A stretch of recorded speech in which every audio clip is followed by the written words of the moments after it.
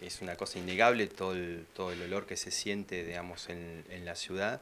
Eh, se está trabajando en ese sentido, digamos, todo el equipo de, de, obras públicas de, la municipalidad eh, en, lo que es el proceso de enterramiento hoy de, langostinos, digamos que hubo una etapa ahí donde no se cumplió y, el municipio nuevamente está, eh, está haciendo ese trabajo desde la, gente de obras públicas, del, digamos, con todo lo que es maquinaria y, para el enterramiento.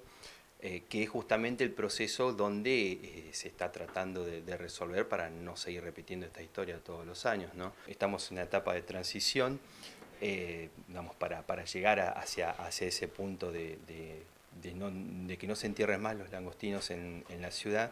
Para esto se está trabajando con las empresas para generar un, mecanismo de, planta de transferencia de, estos residuos. Todas las empresas van a ir a un punto, que es donde hoy está la planta de transferencia del GIRSU.